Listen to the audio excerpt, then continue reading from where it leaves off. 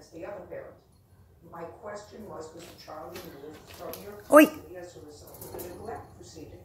I believe so, yes. What do you mean you believe so? You don't know why your child was removed from You your know, I custody? do, yes. And how often do you see your son? Once a week for two hours on Friday. Child in a strange foster home with a relative? Uh, with my aunt. With your aunt? Mhm. Is that your mother's sister or your father's sister? My stepmom, uh, first sister. Other than seeing the baby once a week at the Division of Child Services, do you see the child at any other time? No, just once a week.